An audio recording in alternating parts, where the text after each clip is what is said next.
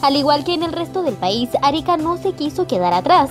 Esta mañana los pescadores artesanales salieron a protestar de manera pacífica en contra de la ley de pesca y manifestaron que esta es una medida que afecta a todos los hombres que trabajan en este rubro.